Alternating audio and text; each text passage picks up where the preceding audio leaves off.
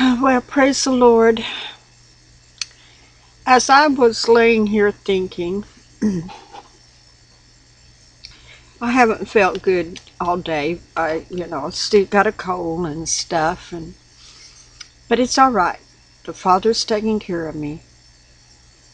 But I got to thinking about the substance of this world and what's going on. Watching the news, seeing how our own president lied so much, deceived people, how um, I really believe that the Obamacare thing will cause our economy to totally collapse. Um, seeing more and more states okay marriage between same sexes. At least some states are trying to pass laws to stop people from aborting their babies after a certain trimester.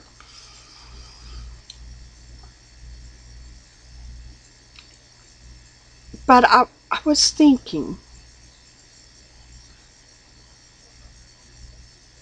the heart of mankind has become so wicked and so vile that they really do think what is good is bad and what is bad is good.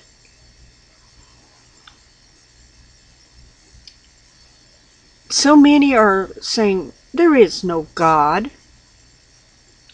And if he is a God, then he's God of every religion. You know, let's just include him in every every religion. And he's not. He's not the God of every religion. He's only the God of one.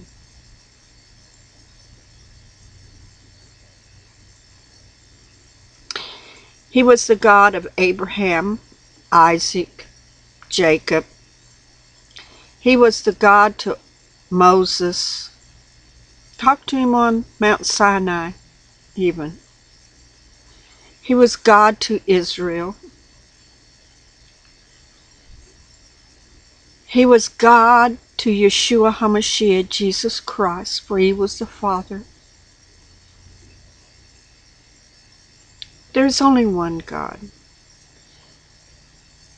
I, am sorry to tell you his name isn't Allah or or any of the Hindu names or whatever any other religion can call him. There's only one God.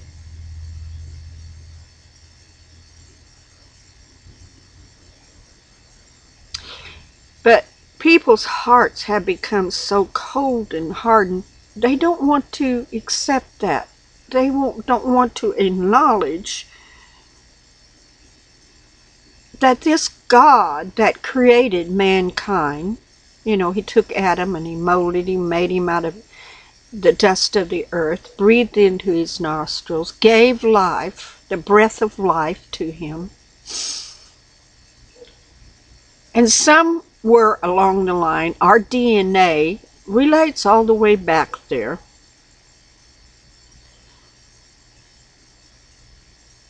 And we often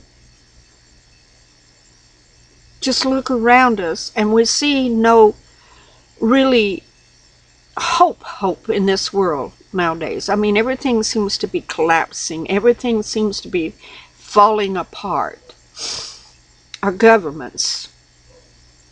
Uh, war is soon coming over in Israel. I mean an atomic warfare, not just a war, but one that we've never seen before in all of our lives.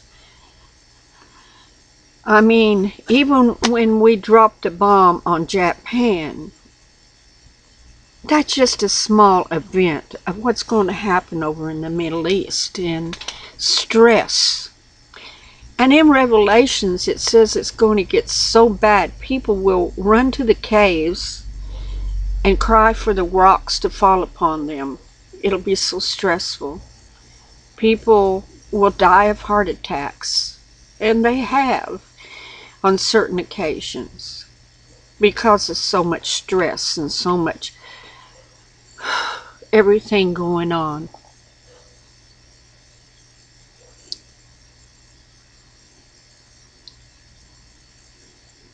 Because as these tribulation times begin to multiply and grow stronger, the people that are not strong at heart in Jesus Christ, Yeshua, will weaken and fall away.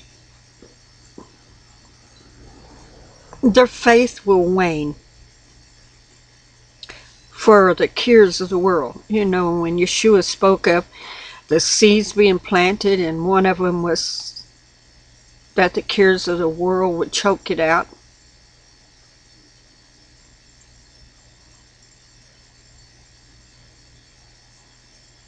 We are created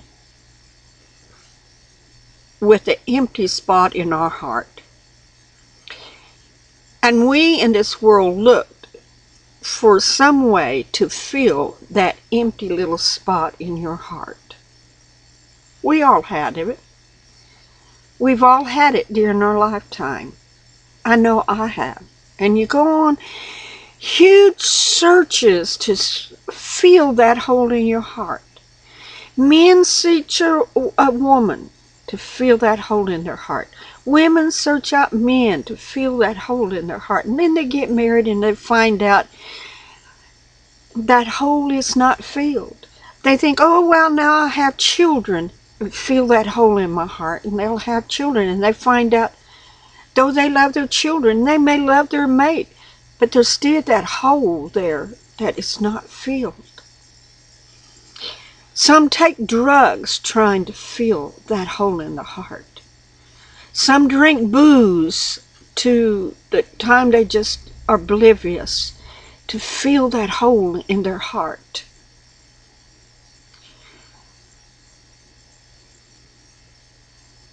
But let me tell you,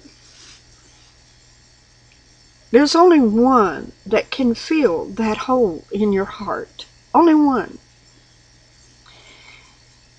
And in John 3:16 it says, God so loved the world that he gave his only begotten son, that whosoever shall believe in him shall not perish. Yeshua is that key that has come and that to fill that hole in our heart. That hole in our heart was specially made for a dwelling place for Yeshua HaMashiach to come in and dwell within our heart, within our life. Once you let him in and he comes in and he totally possesses, he totally fills that spot that was created from the very beginning for him to fill. You know, the Father God did that because he wanted you to know how much that he really, really, truly loves you. Now, you've got the atheists say, I don't believe in a God, you know, when I die, I'm dead, I'm gone, you know, the only time we have is right here, right now. That is a sad state of life. It really is. There's no hope no foresight to see something beyond this life in an eternal life. For them, it ends right here, right now, in death.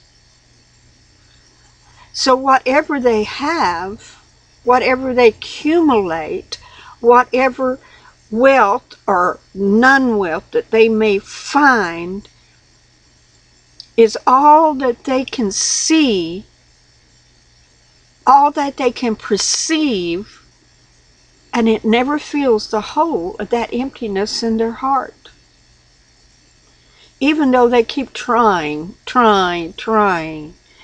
I'll get more stuff. I'll get more of this. I'll get more of that. It'll, it'll fill it eventually. But it don't because it is designed for one purpose and one person to fulfill it. And they sadly go to their death with that hole there aching in their heart that needed to be fulfilled. And they never fulfilled it. And yes, they will see God one day.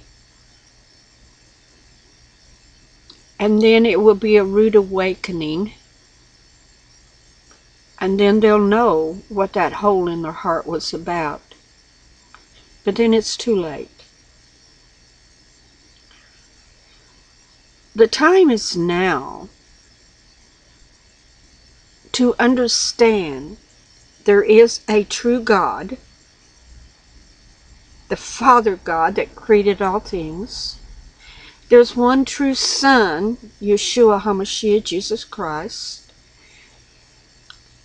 that is in total agreement with the Father, that they agree on everything. They are so much one in union of walking together that when he comes in and feels that hole in the heart, the Father comes in with him and feels it also.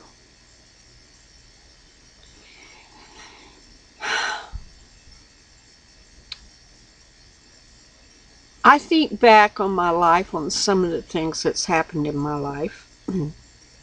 the hurt, the pain, the sorrow, the disappointments, the times sometimes I feel like I was on the mountain and the other times I think I was down in the riverbank down in the deepest water drowning the only one that could keep me and walk me through all of the stuff that would happen through the sorrow through the disappointments through the heartbreak through all of the things that seemed to torture, that made my life so miserable, I just, I just wanted to give up.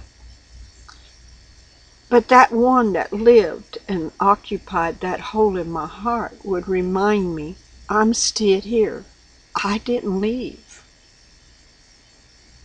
I'm still here. Listen to me and I'll walk through you through this. I'll walk with you. I'll guide you. I'll help you plumb through whatever you're going through. I know about it. I feel it. I've suffered too. And I am suffering with you because I love you, Barbara. That's what he would say to me. I remember sometimes I would go out and I'd just go down in the woods where we lived and I'd just fall on my face and I'd cry. And I'd go, I don't understand what's going on and why it's going on. But I do know you're with me. And I can't make it through this unless I know you're with me. When times of death that I've lost people I loved, when there was times when I'd come to the brink of death and he would bring me back,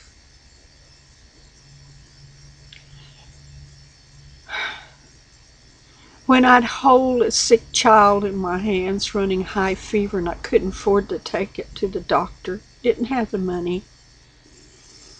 And I'd walk the floor cuddling it to my chest and praying and praying and praying. And then feel the heat leave the little body and and the baby relax and begin to nurse and and, and everything come back to normal. For he had taken care of my child when I had no one else I could depend on to take care of it.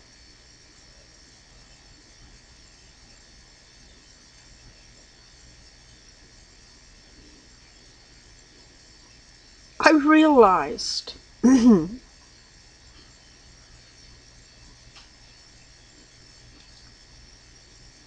if he hadn't been with me every step of the way, there are some things I don't think I would have survived. I really don't. It was just overpowering and overwhelming for me to the point that I just I just didn't think I could pick up another foot and walk another step, physically or even spiritually. But yet he was always there, whispering very calmly and very softly in my ear. I am here. I will help you through this. You may not can make it through by yourself, but I can lead you, hold you in my arms, and bring you through this. And I will set you on solid ground in a safe harbor to walk through again. He's never failed to me. Ever. Not one time has he failed me. When I called upon him, he always heard me and he always answered. When I was at the breaking point and I didn't think I could go on, he would lift me up and carry me across the thresholds of the mess and the mud and the junk of this life to solid ground. He would do that. Why? Because he loved me. Why? I don't know. He loved me. Was I perfect? Was I holy and righteous? No. I'm not perfect, nor am I holy, and nor am I totally righteous. Although his righteousness covers me, that was his gift to me at the cross. He took my sins and he gave me his righteousness. Because my righteousness is imperfect. But his righteousness is perfect in every way, shape, and form. And it's that righteousness that covers me that when I do come before the Father, I can stand there and I can face Him boldly, knowing that the Son's righteousness, my Messiah's righteousness covers me and protects me, even in the face of God Himself. It's nothing that I have done that has deserved this, though I have tried to help many people. And may have done some good deeds and some good works. But yet it was nothing that I did personally that earned that righteousness that Yeshua HaMashiach gave to me, laid upon me. Nothing I could have possibly done. No works, no deeds, no nothing. Although the things that I do do, I do to glorify Him and not myself. Because you see, I am nothing. I have nothing. Everything that I have is given to me by the Father Himself to help minister to other people. Not for me to sit here and gloat in and say, oh, I've got all of this stuff. But He gives to me that I can help others. Not to keep it selfishly, not to use it in vain, but use it to glorify Him and bring the foal into the sheep pen where the Yeshua HaMashiach, the great shepherd, is at. It's not any works that I have done. Nothing that I have done is even worthy of life. But the one thing I do know, my faith in Yeshua HaMashiach and His grace is more than sufficient for me, more than sufficient to carry me through the bad times as well as the good times.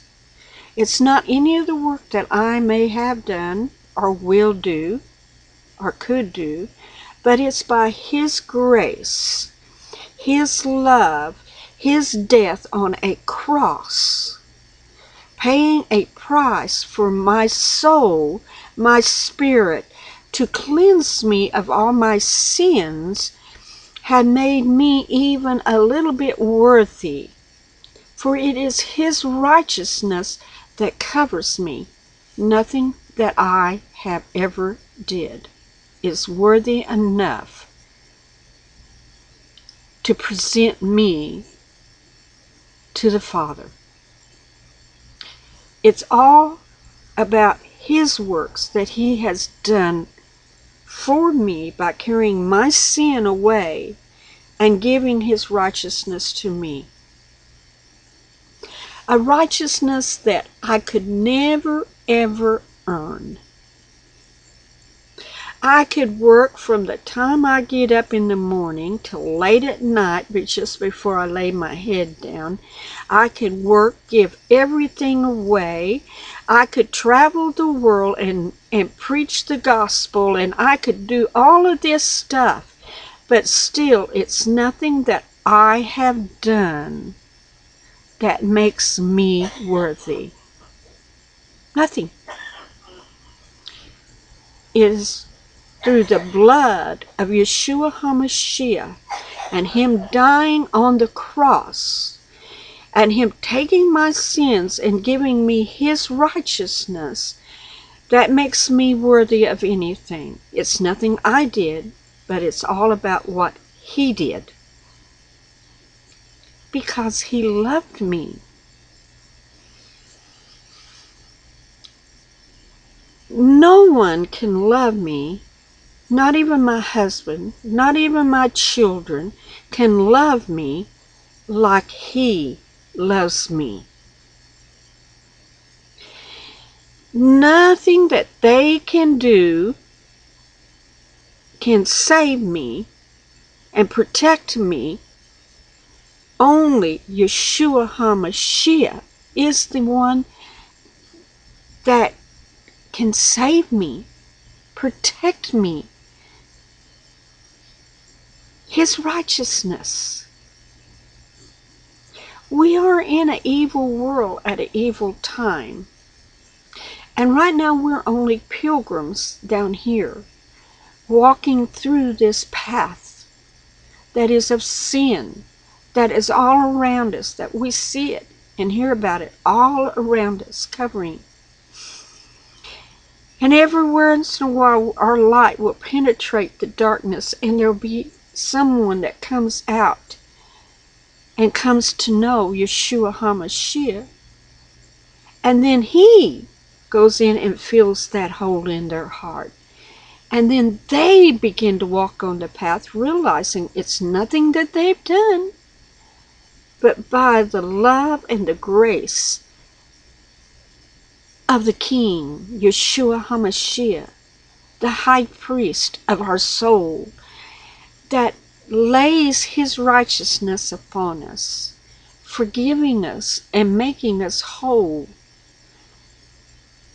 as we can never make our own selves whole.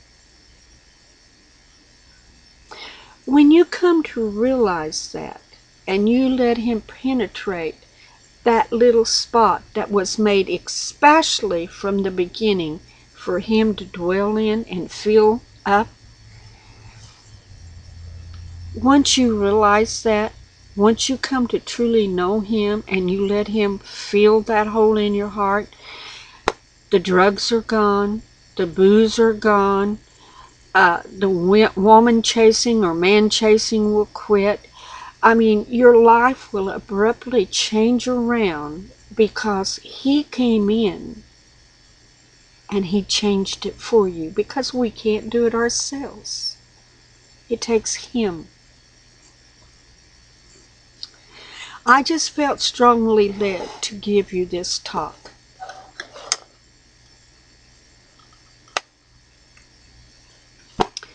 He fills that hole in your heart.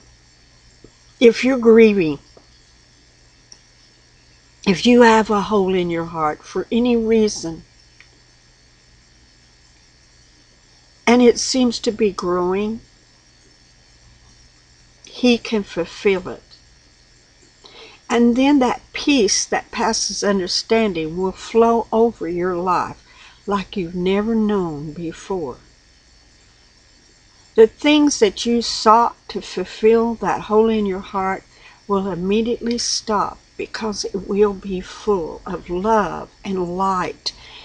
And it will be such a new experience that you will feel a high that you've never felt before.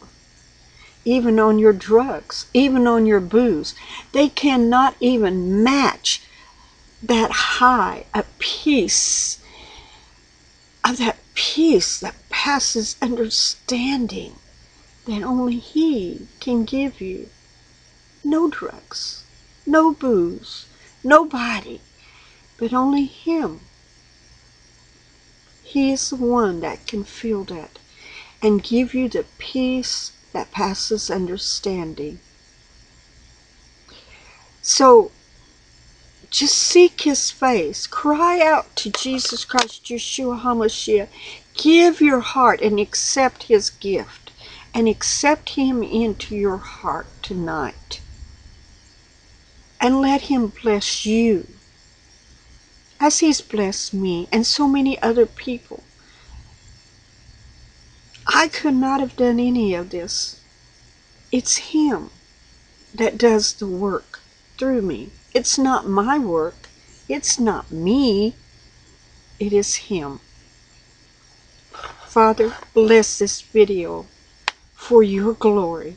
Yeshua HaMashiach, let your presence be felt in this video as people listen to it. In your holy name, in the name of Jesus Christ, Yeshua HaMashiach, the Messiah, the one that is coming back to earth again to rule and reign. Let your peace flow through this video in your holy name, in the name of Jesus Christ, Yeshua, HaMashiach, the Christ. Amen and amen. The Christ means the Messiah.